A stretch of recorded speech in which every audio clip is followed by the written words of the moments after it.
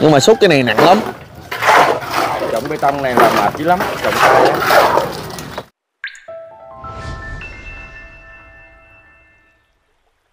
Dạ Bùi Hồ xin chào cô bác quý anh chị. Hôm nay là ngày thứ năm. À, Các anh thợ vẫn đang miệt mài Cố gắng hoàn thành cái công trình của bà cụ Cùng với ba người cháu sống cảnh màn trời chiếu đất đó cô bác quý anh chị và phía sau lưng này à, sáng nay thì cũng à, Sau khi ăn sáng xong các anh thợ cũng lật đật Để mà à, làm một cái mẻ hồ đổ bê tông đầu tiên nè cô bác anh chị. Hôm qua thì cũng đổ xong cái phần bê tông ở đằng đó rồi kìa Cái phần bê tông của nhà vệ sinh á.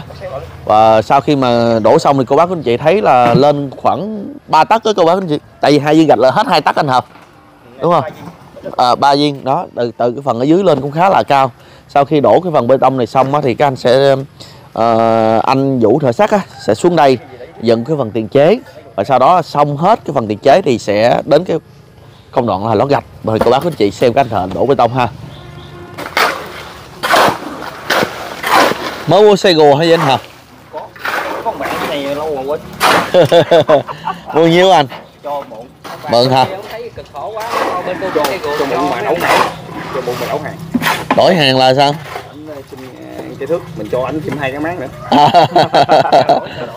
trao đổi. Ai không có lại được? Ai có ai lại Hôm qua y lại chơi y thấy giá thì nói thôi tôi có xe gùa để tôi lấy qua cho ông mượn. À. À, anh em đi xa thì giúp đỡ gì cũng mừng. Ừ. cũng rồi đi đi. Làm bữa nay là cực dữ luôn á. Nhớ ra con. Anh hùng bữa nay là làm cái công việc luôn của cô ly đúng không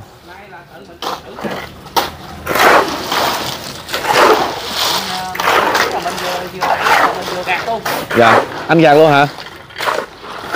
Bởi vì có hai hai hai cái máy trộn rồi. Cái này là phải trộn liên tục không ấy là nó bị ấy à, bị cứng anh uh, hợp. Một cực.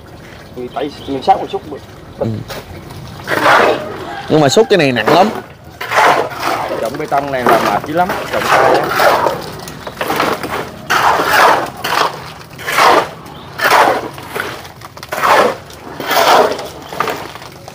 à, anh lớn anh nói anh thái trộn vậy đó anh không chịu chọc anh lớn hoài. Làm này mệt hơn ở nhà ha lớn ha. Tại ở nhà có máy sẵn. Ba cái máy ba cái máy hả? Ba cái đi xa là phải trụng tay.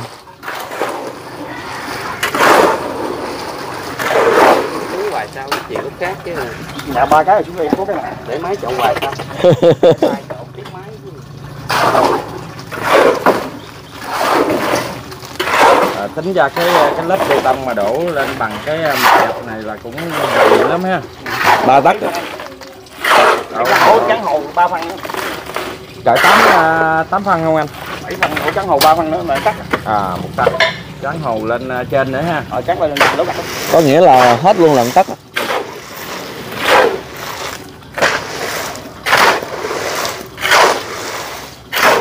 vậy là hết cái mẻ hồ này là anh hùng sẽ chuyển sang là cán ra chưa? À, chút xíu nữa đổ chừng hai ba xe nữa còn xe- xe nữa.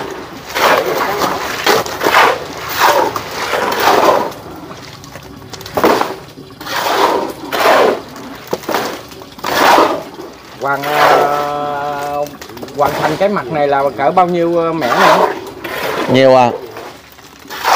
Nguyên ngày nay luôn hả anh anh à, hợp sáng xong rồi. Buổi sáng xong hả? Chiều nay làm gì xây hả? Xây chậu dạ. Chứ gọi đi mua qua cái cửa nhôm anh Vũ thì khuya nay xuống thì à, sáng ngày hôm nay thì Bùi Hồ cũng có chuyển khoản cho anh để mà đưa cho cái cửa hàng ton á để mà anh trả trước cho người ta người ta mới chịu dập ton. Nếu như mà không trả tiền ton người lạ người ta không có chịu dập ton sợ mình bỏ nên thành nữ là mình phải chuyển khoản cho người ta trước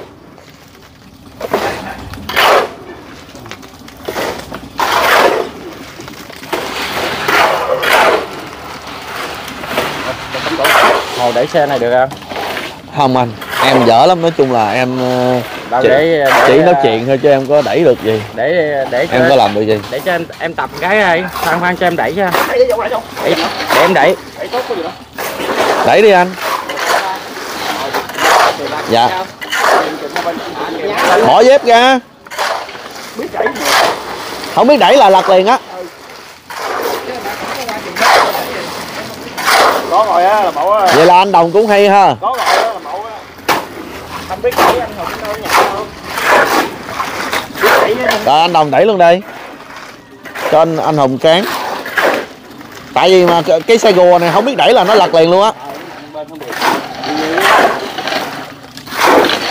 hay quá anh đồng ơi. Hay quá. Mai mốt đội thợ hồ này nhất định sẽ có anh Đây không không? Không. Cây cây thước này nè. cho mình xem chiều nay có chia tiền lương cho ảnh không anh lớn? Có chứ. rồi rồi cái này không biết đẩy là nó lật ngang liền đúng không anh anh đồng? Đúng rồi. Hôm trước ở nhà chị Hường em đẩy thử em không dám đẩy. Tại vì nó coi chỉ có một bánh không cân bằng không vững là nó lật liền à. Đẩy. Đẩy cát á hôm trước là đẩy cát ở dưới ghe lên nhà hơn đẩy cái tông này nó trao. Bê tông này nó có nước nó trao hơn nữa đúng không? Trao phải hơn. Bỏ dép ra luôn đi anh đồng. Bỏ dép ra luôn đi.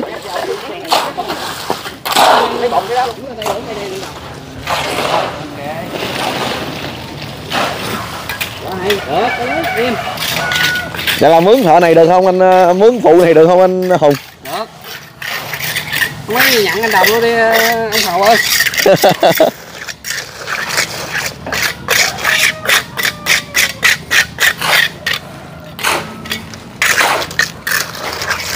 cái này đổ lên cũng dày quá ha anh Hùng ha Có 7 phân. có 7 phân hả 7 phân thì ờ, dưới là hai cũng gần ờ, ba tấc rồi ở dưới lên ờ, ba tấc rồi hơn ba tấc rồi Hơn ngày trước thì 3 tấc ngoài này cũng chạy 4 tấc. dạ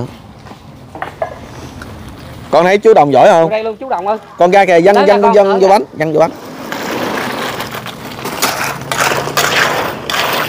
đồng dở quá vậy? vậy? dở quá vậy hả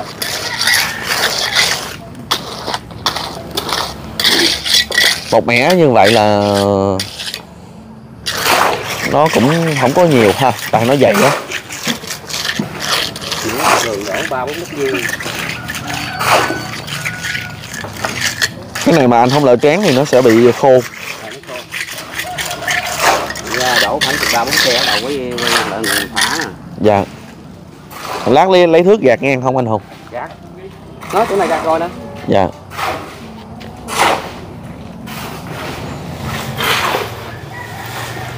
Cho anh Đồng nó vô đây xe nữa bắt đầu gạt. Chị, à, em tưởng đâu chị anh chỉ biết làm chuyện ở trên trời không chứ à, leo cây đốt nốt thôi chứ. Nhà ở dưới đất anh cũng làm được. Bữa nay mình à, mình à, tiếp à, mấy anh thợ ở đây nè tại thiếu người. Thiếu người. Không có những cái thợ. và cái này nó nặng hơn gạt hồ nhiều hơn hùng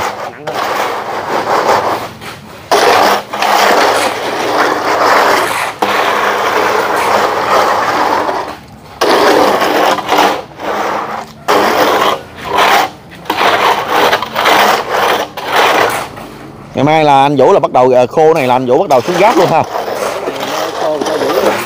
Dạ. Thì bùi hồi cũng sẽ à, làm tiếp tục cái công việc đó là sẽ thống kê lại số tiền đó, cô bác anh chị mạnh thường quân rồi sau đó công bố danh sách lên. Cũng vài ngày tới đây thì cũng khá là lu bu.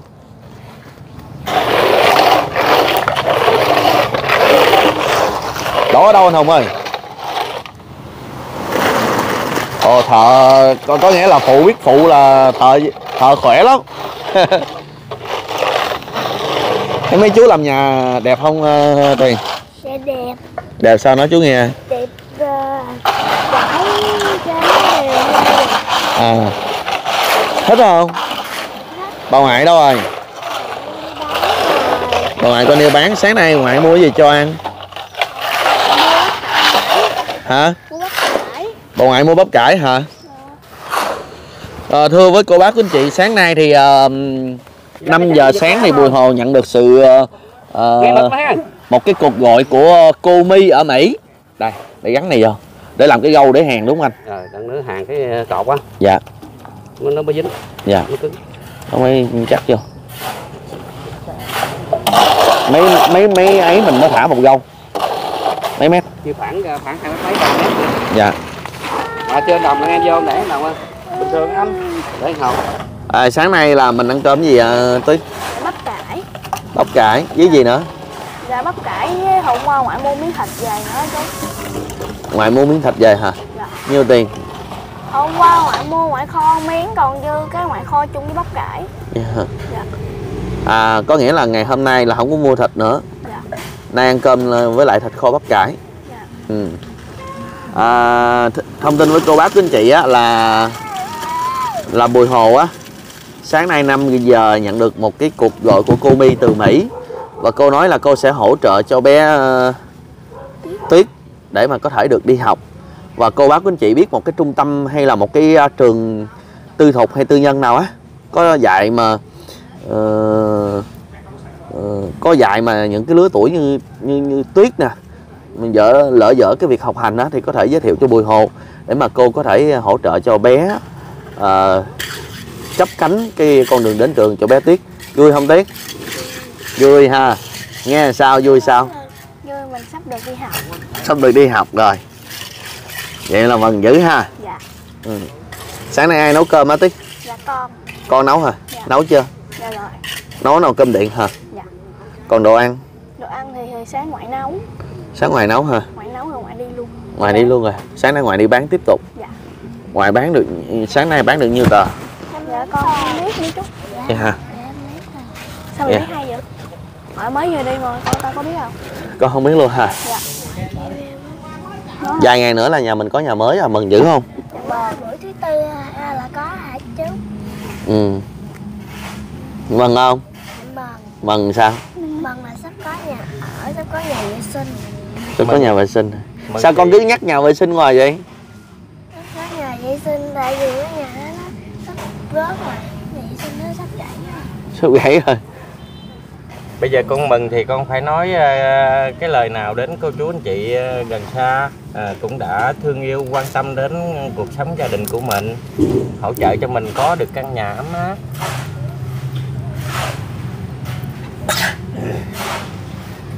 Nói Con sao? cảm ơn cô chú anh chị với bà con đã giúp con có nhà vệ sinh với cái nhà ở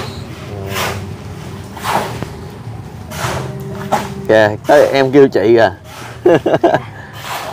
Dạ con xin cảm ơn quý nhà hảo tâm các mạnh thường quân đã giúp cho gia đình con có cái nhà với cái nhà vệ sinh. Dạ con cảm ơn. ủa sao áo gì đâu mà dơ dơ hèm vậy Tại vì hôm bữa cái áo này giặt không ra. ai giặt ai giặt không ra Có tiếc cái này nhà bị dâm kim rồi nên con giặt không có ra. bị thâm kim rồi hả áo đó người ta cho hay sao Dạ. bây giờ cái ờ, cái niềm vui của ờ, Tiết khi nghe chú Bùi Hồ nói là đã sẽ hỗ trợ con đến trường đúng không? Dạ. Bây giờ niềm vui sao bây giờ kể, kể hết đi. Con vui khi con sắp được đi học. Yeah. Dạ. mà đi học ở đây á khó một điều là nếu như mà học gần gần ở đây á là không có trường tư thục. Mà trường công lập á thì ờ, lố tuổi thì ờ, đi học rất khó. Và trường tư thục là phải ờ, đi ở những cái đô thị lớn như là Cần Thơ hay là Sài Gòn thì nó mới có. Hoặc ít ra thì cũng phải ngay thành phố Trà Vinh. Nếu như mà con đi học mà con xa xa ngoại con chịu không?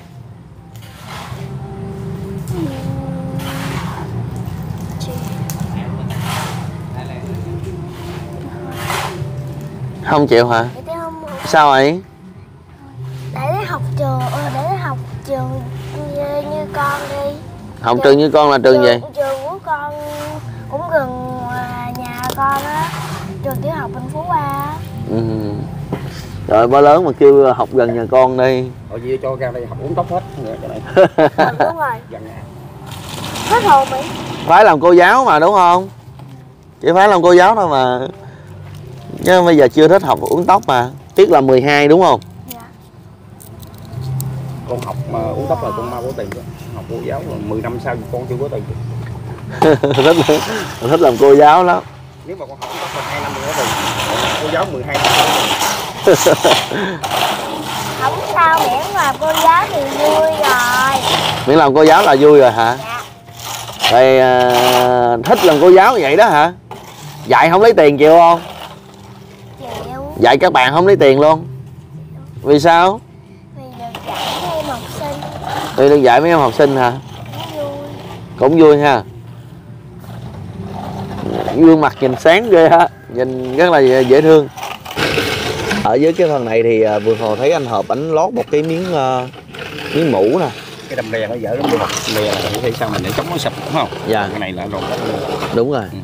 đâm le thì nó dễ bị sụt còn cái này là chắc chắn không bao giờ bị sụt lún đúng không? dưới ở mũ dưới mình bạn rồi à hay chứ. Cái này là hôm qua anh gãi đá mi ờ, gãi đá một hai hả? Cái nào? Đá này nè. Cái đó là để đã mùa hai để dằn cái món mũ đựng cho nó tóc. À. Còn miếng mũ là nó để chống để cho nó liên kết lại. Liên kết bê tông lại nó chống lún luôn. Rồi nó không bị thoát nước ở phần ở dưới luôn đúng không? Bị thấm nước bê tông nó sẽ ấy đi đi theo anh chắc mai mốt em làm thầu theo anh luôn quá anh hả? Dễ có gì đâu có. Dạ. Làm luôn tôi dạ. Cái nghề nào nó cũng có nghề khó riêng á. Mà đã như anh hợp phải mấy chục năm mới được lên làm thầu. Ồ tráng xong nhìn đẹp ghê ha. Ra mặt chính luôn không đúng rồi. Nếu như mà không có lót miếng mũ này á thì nó sẽ cái phần bê tông này mất nước đúng nó không mất nước rồi nó không có chỉnh. À. Hay từ cái này tự động nó khô đúng không nó khô là nó đòn cách chết còn cái kia là nó thấy nó mất nước là nó nó tầm bậy ba nó không có đầu cách. dạ em hiểu rồi em thấy thường ờ, trước đây người ta làm nhà người ta thường không nhà cái bốn người ta vẫn không chạy dĩ người ta không đổ gì à người ta không đập em mà người ta nhưng mà lúc em thấy trước đó nữa nhà em là hình như là đâm le đá thôi à đó là nó thể nó súng rụt cái, nó sập lúng à Cái còn đó là sau này sau này phát sinh thêm mà. nó sẽ có những cái đường Ừ. nứt của Ừ. gạch đó chỗ nào sập là chỗ đó bị nứt Ừ, nó không có Cái đồng này gạch. nó, Nó nó không bao giờ sập tại nó nguyên khối ừ. ừ. Nó làm này tính ra hay nè ôi trời ông thợ hay vậy lấy nước. thở này ông làm biến nước cũng chơi vậy đó. Không làm cái này hay. Giống như là làm em thấy mấy cái công trình mà đường ở miền tây á ờ, đất rồi nó bị phù sa bị lún nhiều người ta cũng trải mấy miếng như thế này. Cho nó đòn kết nó dạ. Này là cũng nghiên cứu á. Này là làm cái này lâu chưa anh thật? Lâu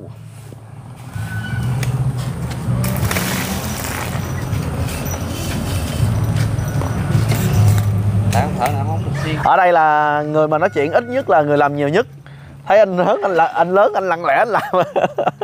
Làm không bây giờ thì cũng là mẻ ờ, bê tông thứ hai anh hùng.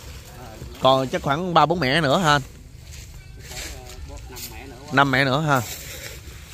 Sáng nay thấy trời cũng chuyển chuyển. Ờ, lúc trước mà làm cái phần ờ, nhà làm mà không có cái phần đổ bê tông như thế này á thì chỉ đâm le đá thôi á thì mỗi khi mà con kiến mà nó đục ở dưới lên á là gạch nó bị ấy hết à. Một là bị ờ, uh, sụp lúng hai là con kiến nó lên nó nó không có chất lượng như thế này ha anh anh hùng ha. Dạ. Mà đặc biệt là anh anh hợp anh nói mà nếu như mà cuốn nền cao cao hơn nữa như nhà của chị dứa là anh còn đổ dĩ nữa. Dạ đà dĩ ở dưới nữa có nghĩa là anh làm cái đà dĩ giống như bên này nè. Đó mà cái này cái nền nó thấp lắm nên thành nữ cái phần đó nó cũng cái phần này nó cũng đủ chắc rồi. Và đặc biệt là bùi hồ nhận thấy rất là vui là khi mà tráng lên này là bảo đảm là một trăm phần trăm là cái phần gạch nó không bao giờ bị sụt lún. Và thậm chí là không có cái vụ mà con kiến mà từ ở dưới cái kẻ những cái kẻ gạch mà nó đi lên đúng không anh hồng? Nó hở nó lên dạ. Mấy anh này thờ, làm thợ phải nói là cực kỳ ờ, có tâm luôn. Và phải nói là mình rất là yên tâm ngôi nhà nào bàn giao thì mọi người đi ngang đều nói rất là đẹp như vậy là các anh thợ cũng đã xong cái à, mẻ bê tông thứ hai rồi. À, cũng khoảng 2 tiếng thì à, gần như là đổ bê tông à, phân nửa cái à, nền nhà rồi. Và đây nè anh à, Hồng cũng đã trang lại rất là phẳng luôn. Mình à, tạm cảm thấy nó giống như là một cái tấm thảm đó một buổi sáng nay thì chắc khoảng chưa đầy 11 giờ thì các anh cũng xong anh Hồng ha. Dạ mau thôi bây giờ chắc, chắc có lẽ là mình sẽ cập nhật đoạn video clip sau cho cô bác quý anh chị xem sau khi mà hoàn thành cái phần bê tông này ha. Cũng như là chiều nay thì các anh sẽ tiến hành một cái công đoạn đó là sẽ xây cái nhà vệ sinh nữa cô bác quý anh chị. Còn bây giờ thì xin chào và hẹn gặp lại cô bác quý anh chị ở video clip sau ha.